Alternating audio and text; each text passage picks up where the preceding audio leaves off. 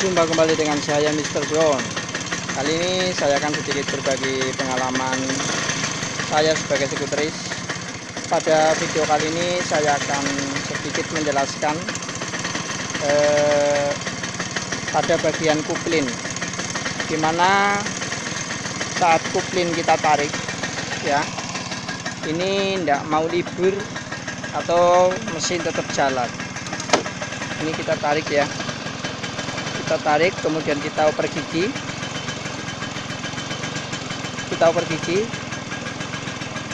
Tapi belum poplin kita lepaskan Vespa udah berjalan. Nah ini kan. Ini bertanda bahwa poplin kita itu bermasalah nggak mau libur. Hehe. Oke kali ini saya akan menjelaskan cara menyetelnya.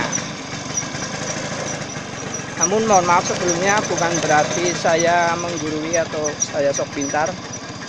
Namun sifat saya berbagi pengalaman sesama sekuteris simak videonya berikut cara menyetel eh, koplin pada Vespa.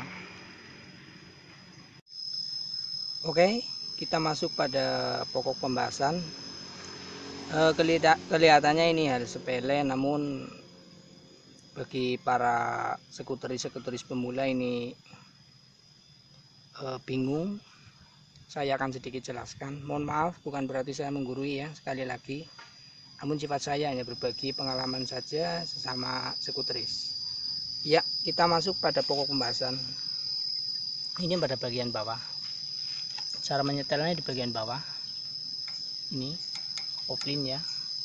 Kenapa ketika kita tarik koplin itu masih berjalan? Karena koplin ini kurang fungsi ya atau kendor ya. Nah lantas apa yang harus kita lakukan? Ya pastinya kita harus menyetingnya. E, kebetulan Vespa saya ini saya berikan ini kabel luar kabel luar pada ini pada gas atau pada persneleng ya. Ini saya berikan kabel luar. Fungsinya apa? Fungsinya ini untuk mudah menyetingnya. Lanjut. Alat yang gunakan adalah alatnya itu menggunakan jepitan atau di daerah saya ini menyebutnya tang ya kunci ya. Fungsinya ini untuk menarik supaya koplin atas itu ini bagian koplin ini ketarik ya. Kemudian ada ini ada kunci lagi. Kunci plus ya. Kita caranya pun cukup mudah. Ini kita kendorkan terlebih dahulu. Ya kita kendorkan. Setelah kendor kemudian kita tarik supaya apa namanya koplingnya itu main. Ya ya kita kira-kira aja kemudian kita tinggal menyetingnya ke sini. Kita tarik ke atas ya supaya ini nanti menahan ya. Sebenarnya kalau ini nggak nahan nanti koplingnya kurang kurang fungsi iya. Langkah berikutnya tinggal kita tarik kemudian kita kencangkan. Cukup kayak gitu aja mudah bukan? Ya cukup kita kencangkan iya. Mohon maaf videonya goyang ya. Oke. Nah setelah kita kencangkan kemudian kita settingnya kita nyetingnya dari handle handle kopling pada bagian ini ya. Kita tarik nah kemudian kita genjot pada kickstarter. Nah ini los atau, enggak? Kalau memang enggak los berarti perlu kita perbaiki. Settingnya kita ulang kembali. Kalau los berarti koplin udah main. Kemudian kita lepas lagi. Ya sekarang kita genjot lagi. Nah pada Kickstarter kalau memang kita genjot kok keadaannya los? Misalkan kayak gini ya kan los.